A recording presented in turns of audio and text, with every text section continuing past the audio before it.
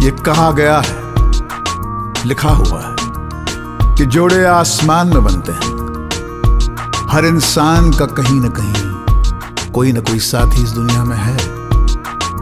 और जब वो मिलते हैं तो इस कायनात में गीत गूंजते हैं। उसने भी इस बात पर तभी यकीन किया जब उसने उसे देखा। पहली बार